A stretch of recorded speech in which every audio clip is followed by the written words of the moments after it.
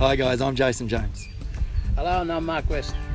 And I'm Matty Matt, and these are our favourite NTFL memories.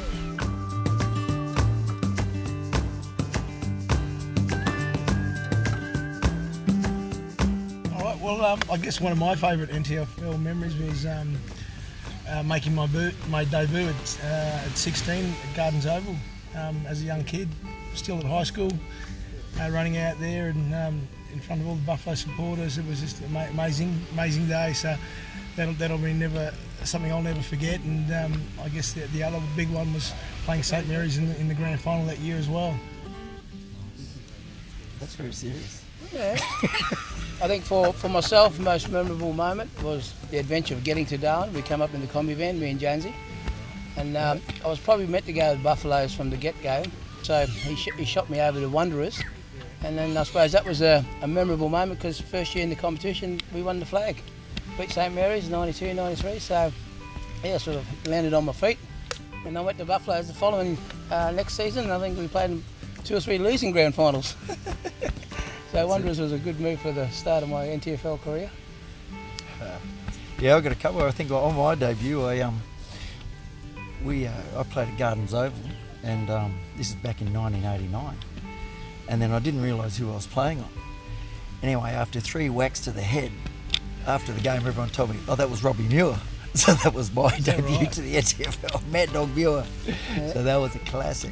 And then, uh, and then probably one uh, another one which was quite funny was when we um, we uh, we beat St Mary's three times during the year, and I think then in that last game, well during the season, we um, I think we won by ten goals and then there was a passage of play where I think I was in the ruck and it, it didn't bounce up straight, and then Westy ended up tapping it, and I was running down, and I think I kicked it. I kicked a goal from about 80.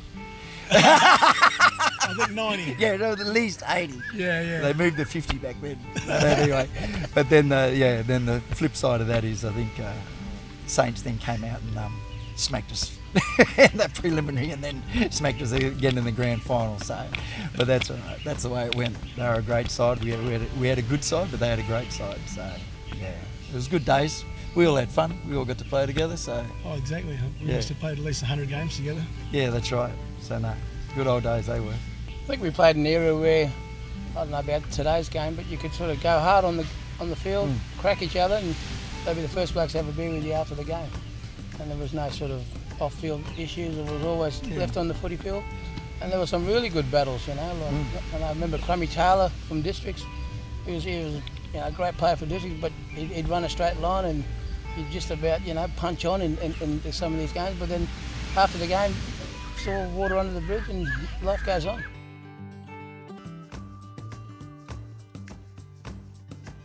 I've been a really good one. Um, us three, we, we stayed at Jonesy's house one night in Stuart Park, and we all we all went out. I think we went, to, went back to Darby's in those days, and um, we all crashed in, in Jonesy's room. That, you know, it must have been about 24, 25 at the time, and um, I've woken up the next day um, underneath the house, which I thought was Jonesy's, and um, I got woken up by an old lady, and um, she asked me who I was, and I'm like, well, um, Matty O'Matt, and they're like, oh, who are you here with? And I'm like, where's Jason Jones? They're like, oh, no, Jason Jones lives next door. and I'm like, oh, okay. So they walked me out to the front gate and it was padlocked. So, you know, in a, with a six foot fence around it. So yeah, we're trying so, to, we're still work, we were laughing so about the other, still working out how we got in there. So I must have been sleepwalking that night and woke up next door. So, a bit of a mystery still to this day. One particular Thursday night, we'd come home and we thought we just got home, maybe we'd get a couple of hours sleep and we were sort of camping in under the house and we were just ready to sort of maybe get an hour in and we heard the old man walking up like it's time to go to work. So it was like off with the disco clothes on with the work clothes. That's right. And then uh, we'd played St Mary's a big game coming up with St Mary's that weekend. And the and the news crew was coming around looking for for Jonesy for a for a, a story you know? And anyway we'd gone to sleep. Was probably lucky to have half an hour shut eye and, uh, and we were labouring these days on these building sites and we were digging um, this trench or doing this trench work, and we were that buggered, like we could just about slept in that trench. But anyway, we couldn't find Jonesy. They went looking for him, couldn't find him. And I said, we looked all through this building. Anyway, they found him eventually. He was tucked around one veranda. Sleep like that. You know, on, on, a, on a, not a tile floor, just a, with a slab of cement sleep. And he's, and he's come down to do the interview, and he had the, the black shirt on like a bandana, the glasses on. Anyone thought he was from like a bikies gang, you know. And here he is, a star ruckman of the competition, you know, doing this interview. So that was one of the funny ones. Yeah, that was about. Uh, I remember it well, and still people remind me. Uh, that was good.